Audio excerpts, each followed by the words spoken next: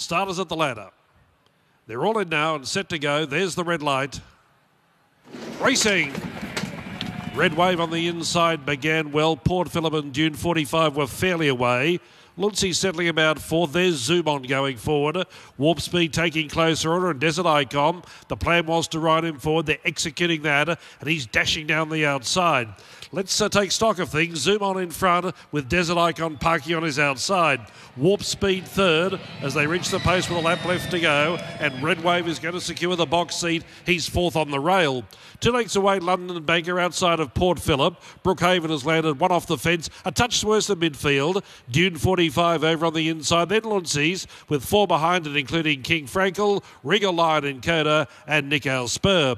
By the 1400 metres, 10 lengths top end to tail, and Zoom on in his favourite role leads the way. He goes into the bottom bend, a length and a half clear from Desert Icon in second, and Red Wave continues to secure that good run in third. Warp Speed, one away in fourth, and then a length and a half to London Banker outside of Port Phillip. They're keeping company in the middle stages. Two and a half to Brookhaven outside of Dune 45, about eighth on the rail, seven off the lead. Then came Luncey's outside of King Frankel, and still the last trio were Regal Lion, Encoda, and Nick Spur. No change to the order. About 900 left to run in the cup, and Zoom on. He's currently making every post a winning post. Leads Desert Icon by just over a length. Red Wave in third, give it every chance. Warp Speed likewise in four. Then Port Phillip and London Banker. Here are some moves now. Dune 45 to the rail. He's in traffic as Brookhaven takes off, and so do, to, soon does Luncey's. And Regal Lion right off the track. Nick Spur was next then Encoda, and out towards the tail, King Frankel. They pack right up the cup field as they surge up to the turn.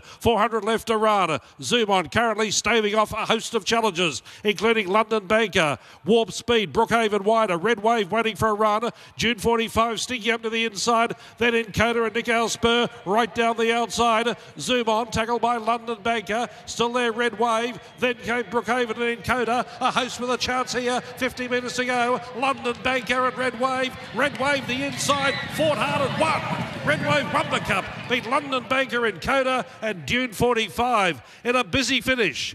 Then came Warp Speed, followed by Brookhaven.